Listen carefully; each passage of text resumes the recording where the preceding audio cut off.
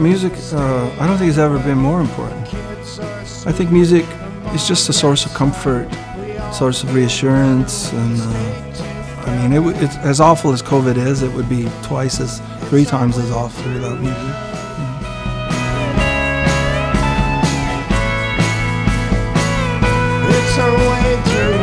It's the audience at home.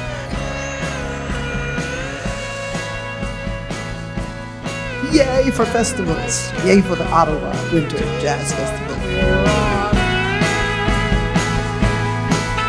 And the kids are sweeter and the days look better on